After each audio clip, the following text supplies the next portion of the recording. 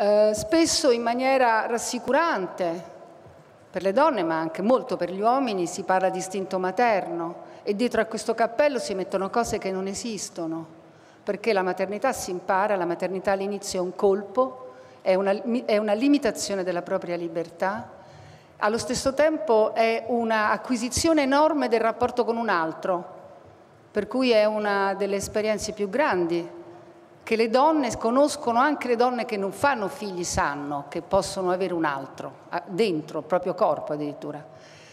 Eh, penso che tutti questi temi sono nell'esperienza comune delle donne, ma che nessuno veramente le ha raccontate.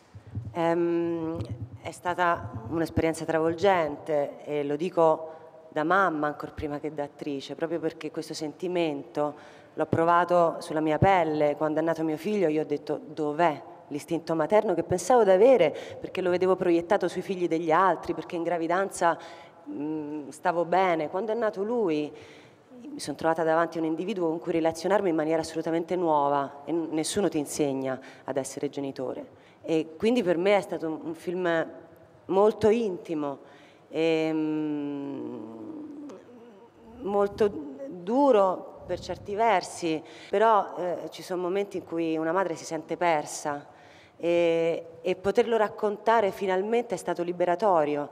Il film è molto costruito su, sul non detto.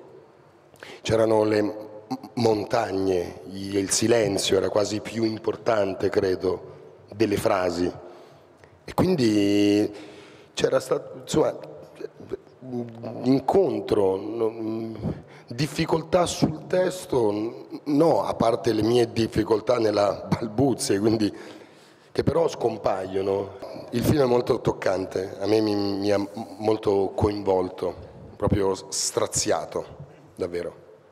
Quindi però mi dispiace che ci trovi una coppia anomala. Atipi. Me la sposerei subito, insomma, capito? È già occupata.